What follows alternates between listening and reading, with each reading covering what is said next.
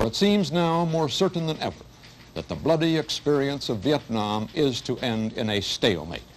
But it is increasingly clear to this reporter that the only rational way out then will be to negotiate, not as victors, but as an honorable people who lived up to their pledge to defend democracy and did the best they could.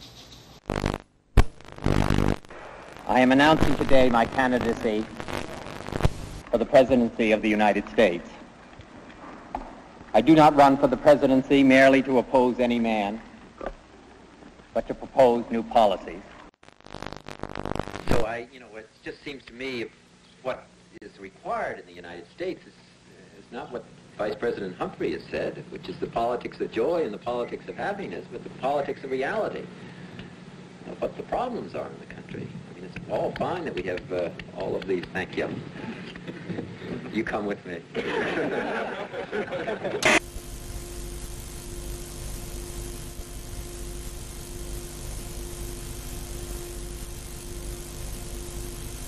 January 1968, the Tet Offensive.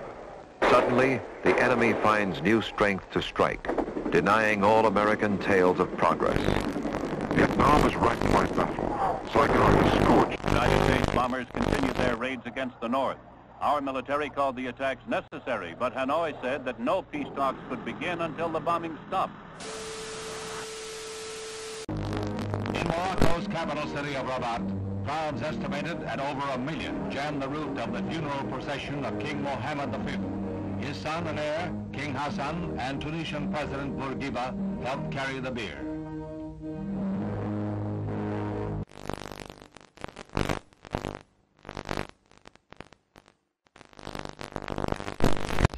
When finally Vice Premier Ky had to go on the air to announce a general curfew throughout the city and the imposition of martial law, he had to do it on the American Armed Forces radio station because his own Saigon radio station had been blown to pieces.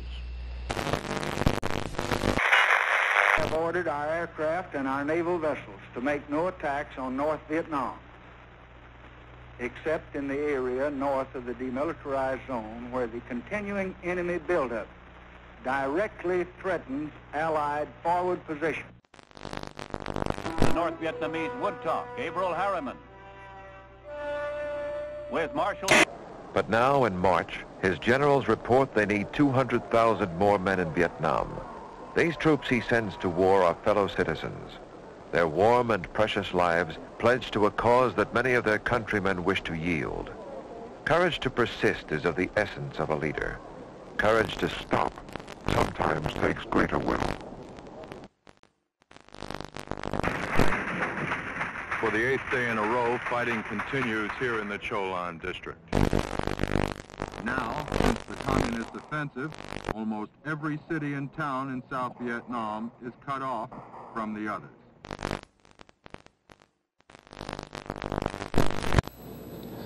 President Thieu of South Vietnam said today that anyone who advocates a coalition government for his nation is a traitor. That it will give North Vietnam a total of $45 million in aid and long-term credits.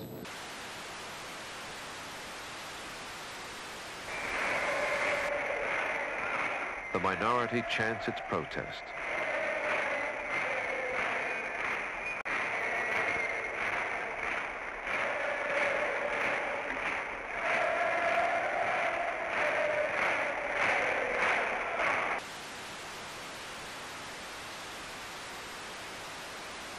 I say that when respect for the United States, respect for the United States has fallen all over the world, but when it has fallen so low that a fourth-rate military power will hijack an American naval vessel in international waters, then it's time for new leadership for the American people at home, and we should provide.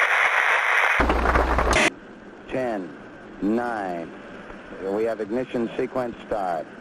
The engines are armed. Four, three, two, one, zero. We have commit. We have we have liftoff. Liftoff at 7:51 a.m. Eastern Standard Time. We have cleared the top. radar clear 13 seconds. Apollo 8, Houston.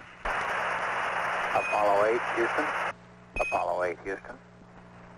Apollo 8, Houston. Apollo 8, over. Hello, Apollo 8. Loud and clear. Roger. Please be informed there is a Santa Claus. That's affirmative. You're the best ones to know.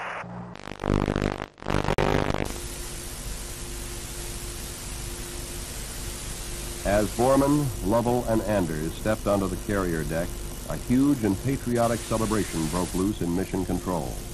A celebration echoed by the hundreds of thousands of men and women who were Apollo 8.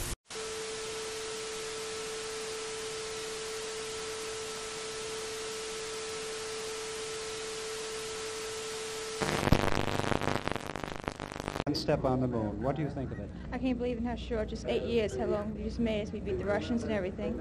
I can't believe it, that it just happened. And we can see it in our lifetime. And how much that we'll probably see, you know, without my whole lifetime, more.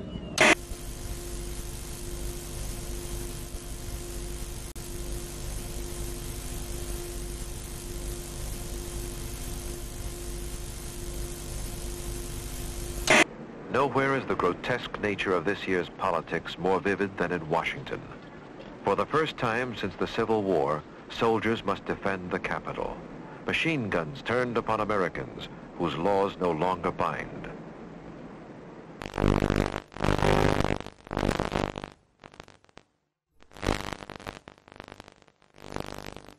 Люди прочтут в газетах, услышат по радио, космический корабль пилотирует разгоняющий советского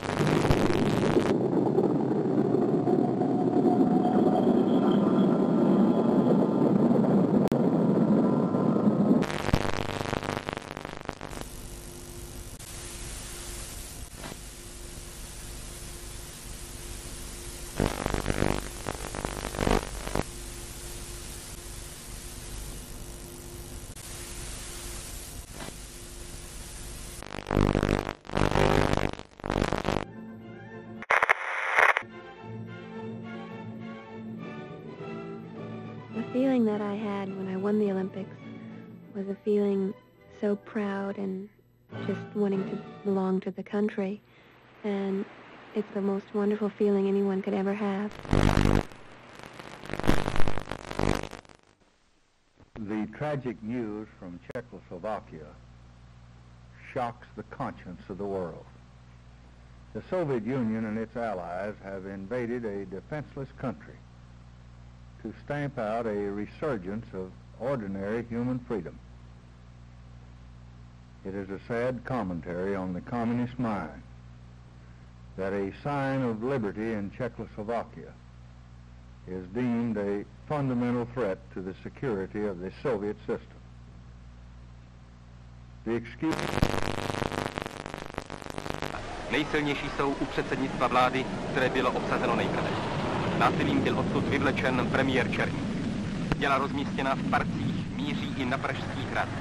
Tam v těchto chvílích bdí prezident republiky Ludvík Svoboda, který zhruba před 25 lety bojoval v Čech. I když už po druhé hodině noční, například ředitele spojů Hoffmana, byly vypnuty vysílače. Později se však statečným spojařům podařilo spojení znovu navázat a rozhlas mohl vysílat dál zprávy o napadení Československa. I shall not seek, and I will not accept the nomination of my party for another term as your president. Nixon chooses Chicago to open his assault on Humphrey in September. There, where only one week earlier streets and parks were battleground, the Republican draws 400,000 people. A triumphal first week carries him from Chicago to San Francisco and back across the land. Buoyant, wherever he campaigns, he underscores his message. The nerve center for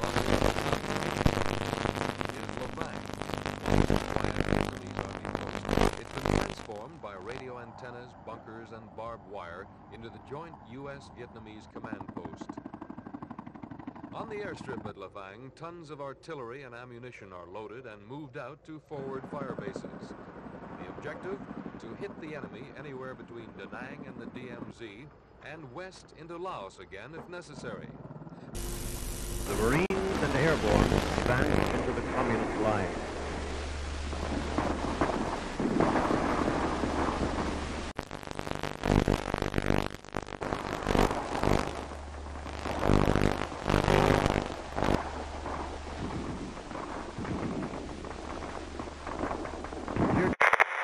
Fired at each target prior to the attack, allowing the populace a chance to escape.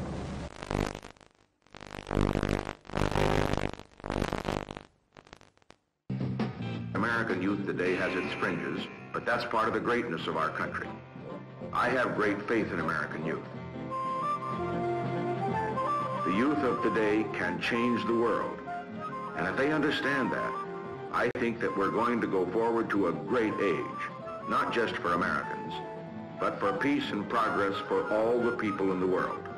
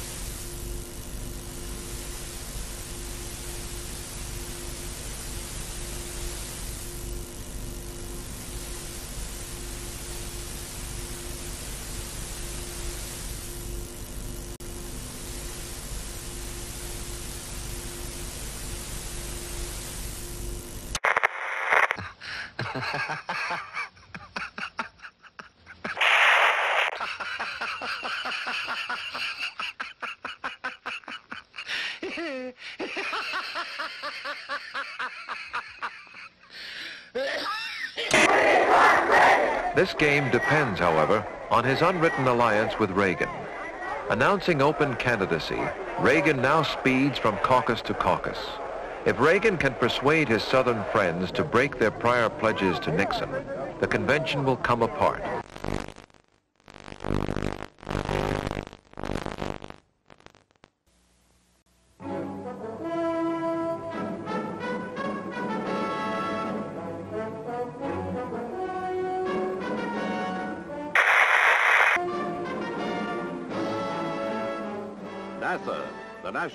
Aeronautics and Space Administration, presents Aeronautics and Space Report.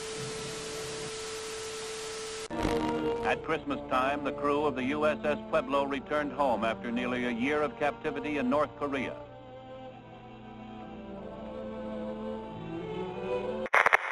Bucher and his crew were met by relatives in San Diego. After a tearful reunion, the men unfolded a tale of torture at the hands of the communists bent on extracting confessions. Weeks of probing lay ahead, but for the Pueblo crew, it was a time for rejoicing and sorrow. Grief for the one shipmate. Astronauts Neil A. Armstrong, Edwin E. Aldrin, and Michael Collins, the three men who will make the next and most historic round trip to the moon.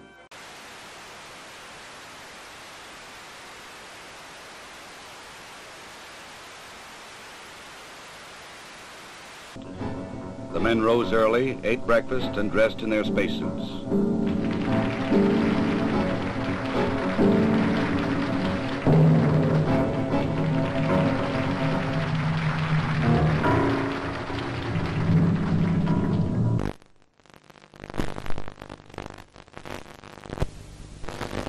They must work in a weightless environment, keeping their spacecraft and themselves in good condition.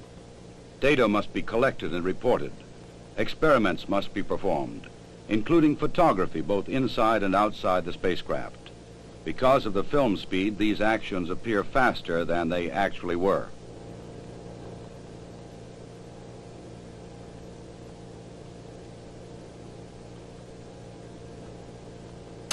In Vietnam, Viet Cong rockets hit Saigon during the night for the first time in two and a half weeks, killing two civilians and wounding 25.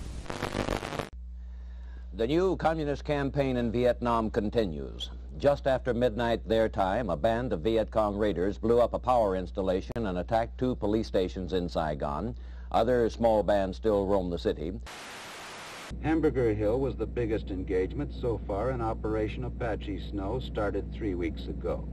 The objective of the operation was not the hill, but control of the A Shau, the main infiltration route threatening northern coastal cities. After the 101st Airborne Division troopers wrested Hamburger Hill from the enemy, there was a pause in the fighting. The big guns were cleaned. The 10-day offensive against the dug-in enemy cost 55 American lives and 300 wounded. Enemy losses are put at 400. President Nixon's interest is in getting the U.S. out of the war in some acceptable way, whereas President Thieu's interest is in seeing his own government survive the end of the war. Vietnam, Ho Chi Minh died. He had led his communist forces through three decades of warfare. After defeating the French, he fought the U.S. and her allies for nine years. I believe we must take risks for peace, but calculated risks not foolish risks. We shall not trade our defenses for a disarming smile or charming words. We are prepared for new initiatives in the control of arms in the context of other specific moves to reduce tensions around the world. I believe that America is not going to become a garrison state or a welfare state or a police state simply because the American people will defend our values from those forces, external or internal, that would challenge or erode. The moment you mention nuclear weapons today, a lot of people get jittery and they seem to don't even want to discuss it.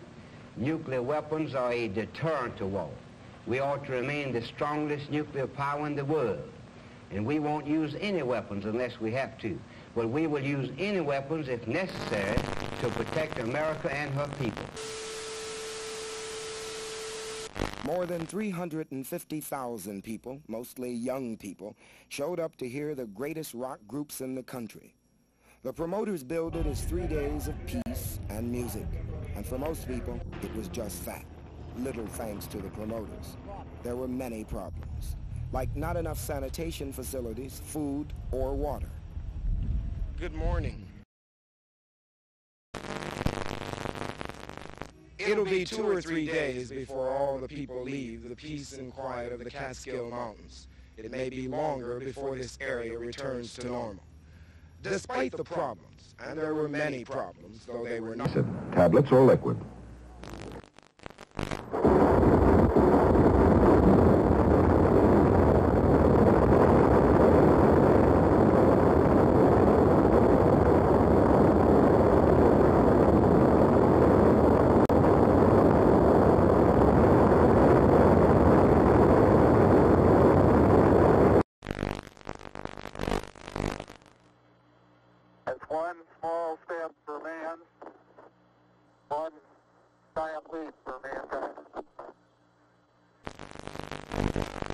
Underneath it says, Here men from the planet Earth first set foot upon the moon, July 1969 AD.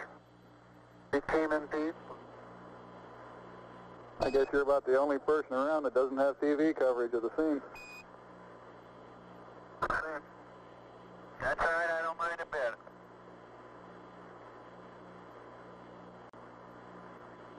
How is the quality of the TV?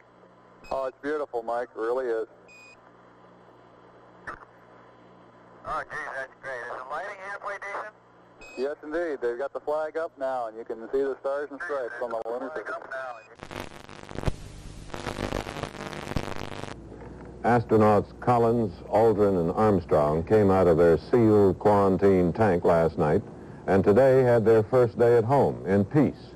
But it will not last long. The schedule in front of them is in some ways more arduous than their trip to the moon.